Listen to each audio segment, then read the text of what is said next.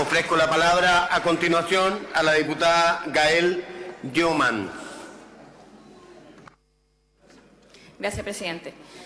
Bueno, en realidad quiero partir por lamentar que tengamos que discutir este proyecto de ley, porque tenemos una ley vigente que hace obligatorio a los trabajadores a honorario el tener que cotizar.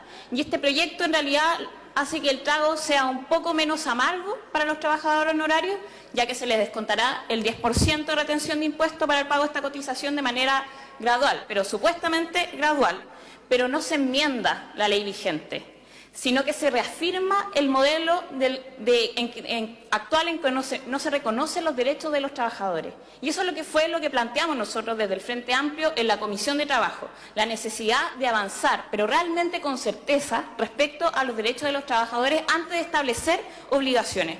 Parto por ahí, porque es responsabilidad de este Congreso, de los que eran parlamentarios y parlamentarias de esa época, la existencia de una ley inquisidora como, lo es esta que establece la obligación de cotizar a trabajadores que pasan años como contratados a honorario, a pesar que lo que realizan no es un servicio particular, sino que es un servicio permanente al Estado incluso.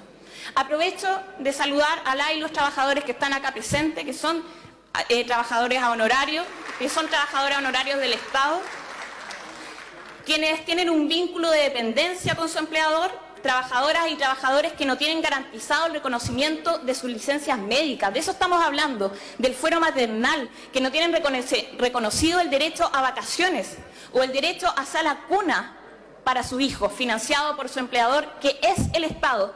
¿Dónde quedó el discurso de los niños primero? Me pregunto yo quienes han manejado el Estado durante décadas. llevan muchos años contratando por cuatro, seis, diez o más años a trabajadores mediante la modalidad del contrato honorario. ¡Qué vergüenza! El Estado contrariando el espíritu de la ley. Y aquí voy a ser muy directa. Municipios, ministerios, servicios públicos, todos desconociendo el derecho a que se les reconozca realmente como trabajadores dependientes del Estado, que es lo que son, no son trabajadores independientes. De hecho, así dice la ley vigente sobre cotización obligatoria, que este Congreso aprobó irresponsablemente el año 2008, en donde se declara que los trabajadores a honorarios son trabajadores independientes, cuando a la vez, en la práctica, es el mismo Estado quienes los siguen contratando por largos periodos de años.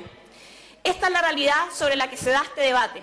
No nos podemos hacer los lesos en ello, pero además hoy se hace imposible imposible no referirse a las innumerables, innumerables dudas que deja el proyecto previsional del Gobierno que estamos a punto de empezar a discutir en este Congreso, las cuales no fueron contestadas directamente por el Ministerio de Trabajo en la Comisión. Decidieron no seguir postergando la cotización obligatoria y que empiece a aplicar directamente este año, abril. Y ahí se verán las consecuencias.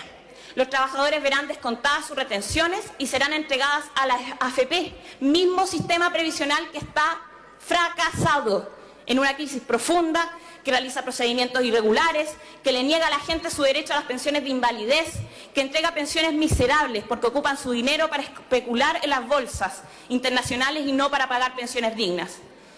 Durante la tramitación de ese proyecto, en la Comisión de Trabajo, las y los trabajadores honorarios realizaron diferentes preguntas, las cuales fueron respondidas, y voy a decirlo acá, de esta manera por el Ministerio.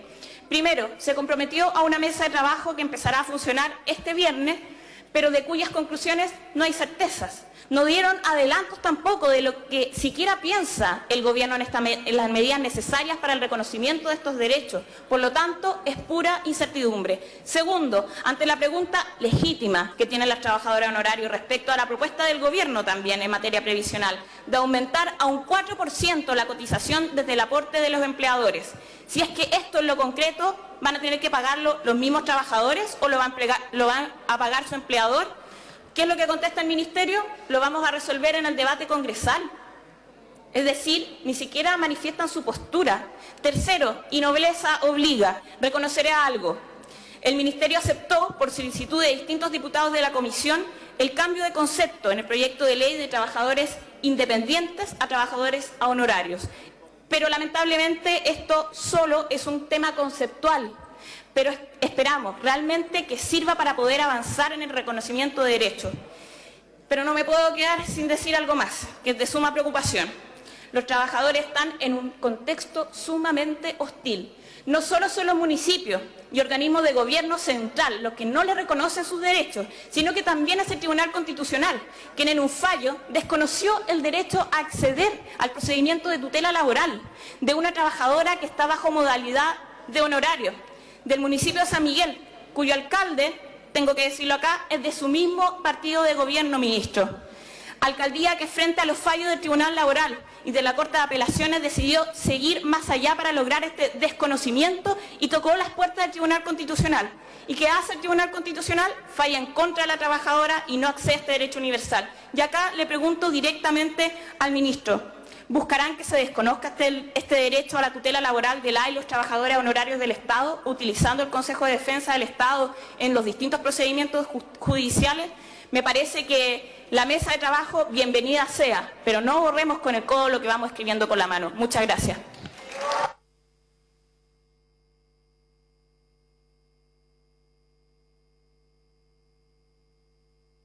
Gracias, diputada. A continuación ofrezco la palabra al diputado.